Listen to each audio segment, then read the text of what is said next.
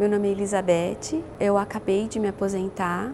Eu passei uma vida trabalhando no sistema bancário, no corporativo, e estou no momento de transição agora. Eu conheço Vida Organizada já faz bastante tempo. Eu sempre me interessei por organização, até porque eu precisava de organização. Eu tenho filhos, né? Então eu trabalhava fora, casa, eu tenho família, né? Tenho mãe idosa. Então assim, eram muitas coisas ao meu redor. Por muitas vezes eu me sentia muito pressionada em organizar todos esses, esses papéis que eu tinha, que eu tenho, né? Então eu sempre lia e aí eu achei a Thaís. E a partir do momento que eu achei a Thaís, eu comecei a escutar, ver, ouvir o conteúdo que ela trazia. E o que me chamava muita atenção na Thaís era essa questão do compassivo, seja compassivo. Isso me acolhia demais, porque o mundo te pedia um ritmo, uma velocidade que muitas vezes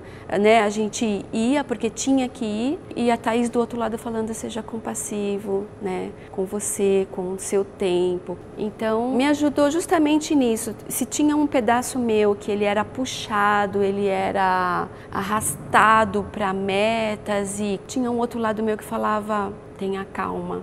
Tudo você vai conseguir fazer se você tiver essa calma. Então, esse equilíbrio ela trazia para mim e me ajudou muito, tem me ajudado muito, porque é, eu continuo ainda com os mesmos papéis. Eu sou mãe, sou mulher, sou profissional, sou muitas coisas, sou filha, sou amiga. Todo esse universo que me rodeia precisa um equilíbrio. É isso, e a Thaís traz essa calma que eu busco, esse equilíbrio que eu quero, né, que faz falta.